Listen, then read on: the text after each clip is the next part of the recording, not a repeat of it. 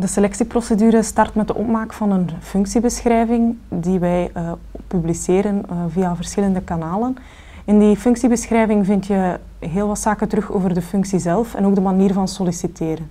We vragen om te solliciteren met een motivatiebrief en een uitgebreid cv. En op basis daarvan worden dan via objectieve criteria een uh, cv-screening gedaan. Afhankelijk van het gezochte profiel um, organiseren we selectieprocedures in verschillende fases. Dus het kan zijn dat er uh, verkennende gesprekken georganiseerd worden of uh, meteen een jurygesprek met de wervende entiteit en dus uh, de rechtstreeks leidinggevende. Interessant daarin is dat je je collega's direct leert kennen en dat je ook direct voeling krijgt met de functie die je op het oog hebt waarvoor je eigenlijk je kandidatuur gesteld hebt.